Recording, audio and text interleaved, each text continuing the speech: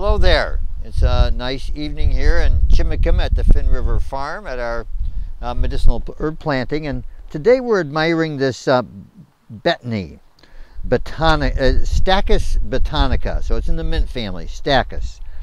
And it's sometimes confused with a plant called wood betony. This is actually called wood betony a lot. So betony, wood betony, betony, that term is also used for pedicularis, some of the pedicularis species, which is a totally different family, different medicinal uses. So it's, it's confusing. That's why it's nice to know the Latin on these things. Stachys betonica or Stachys officinalis, I think is the current preferred taxonomic term.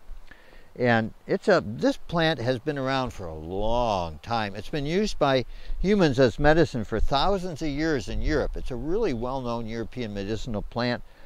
It was uh, used in the plague days for as the seven thieves formula or for people that were, were going in and rustling people's stuff after they died of the plague.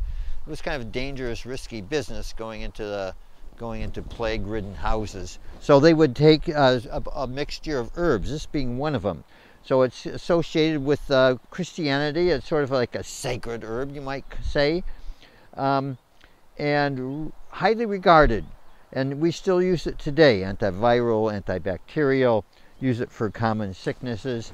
And uh, it's got the typical square stem of a mint family, uh, you can see this one here has really gotten tall. This is pretty old.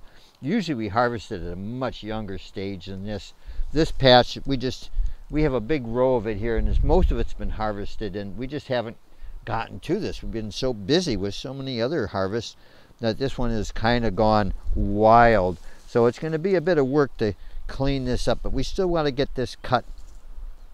And there's going to be a lot of stems, so it's a lot of, you know, you know, at least half or two-thirds of the weight once we get this dry. We'll dry it stem and all, then we'll screen off the uh, flowers and the leaves, and so we'll lose two-thirds of the weight in that time, but that's the way it goes. So a lot of times we like to harvest it really when it's young, the stems are not so elongated. We usually wait until it's early flowering. You can see down there, there's a row where it's been all been harvested. You can see uh, the row goes down there, and those were harvested, oh, probably three weeks, four, even four weeks ago. And so they are regrowing and we'll get another cutting later.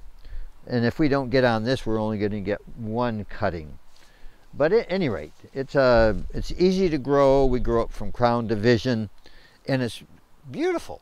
Look at the striking colors on this. Good for pollinators as well. Beautiful flowers in there.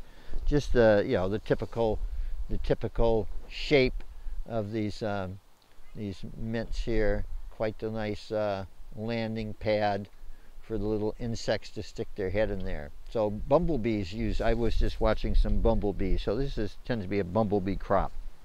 There's one right now. Okay, well, so easy to grow, beautiful, useful, another herb for your gardens. Go for it.